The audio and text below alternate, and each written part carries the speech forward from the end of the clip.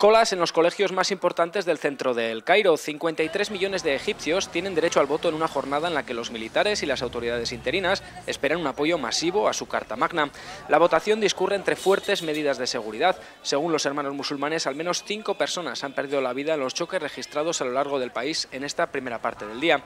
Fátima Abdulmenaim es agente de policía y piensa que decir sí significa apostar por el ejército, la seguridad y la lucha contra el terrorismo. Zakaria Mohamed espera en la fila de hombres y apoyará el texto porque supone cerrar la etapa de los hermanos musulmanes para construir un nuevo Egipto. El mensaje de los medios de información ha calado hondo y se repite en las opiniones de todos los entrevistados. Said Tantawi acude con su hijo al colegio Itahat Arabi. No se separa del pequeño durante todo el proceso de voto. Piensa que decir que sí garantiza el futuro de las nuevas generaciones y por eso no tiene ninguna duda. Las colas se convierten en fiestas al aire libre en zonas como Mohamed Farid. Suenan gritos y palmas a favor del general al-Sisi.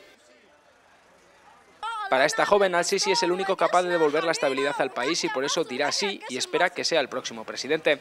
Imposible encontrar una voz discordante.